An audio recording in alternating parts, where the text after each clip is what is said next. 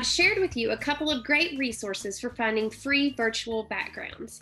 But what if you need a custom background that is specific to a particular activity? You can create these pretty quickly and easily using Google Slides, and I'm going to show you how. The first thing you need to do is create a Google Slide presentation and go ahead and give it a name. I'm calling this my pumpkin activity.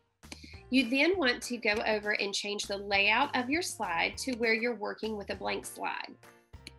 Now I can go under Insert Image and I can upload my initial virtual background that I'm going to be starting with from my computer. Once you have that in your slide, go ahead and resize it to where it's covering the entire slide. Now I'm ready to customize my background.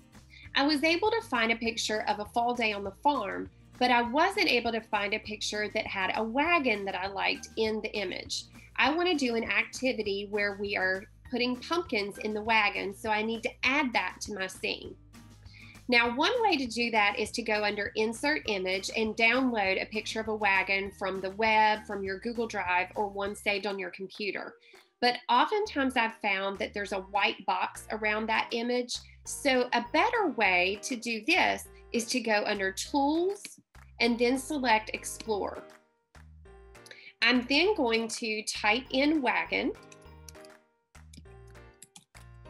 But I'm also going to type in the words transparent background so that it searches for only those wagons that have a transparent background.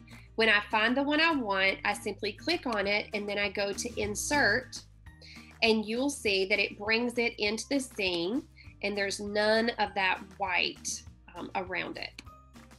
It looks like it was always part of the picture. So now I'm ready to use my props and my pumpkin cutouts and do this activity on my green screen to put my pumpkins in my wagon. Uh, there's a lot of different activities, you know, that you could do with this. If you wanted to, you could even copy and paste and add another wagon to this scene.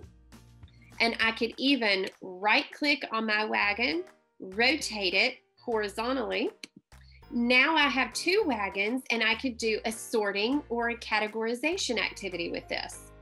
Either way you wanna do it.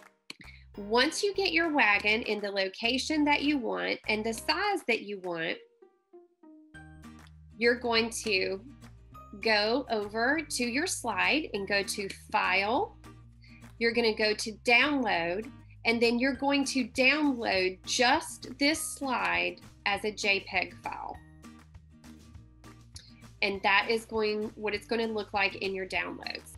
Now, when you go into your Zoom meeting and you click on your background settings, you can click on the plus sign, navigate to where you have saved this custom virtual background on your computer and download it into your menu of virtual backgrounds.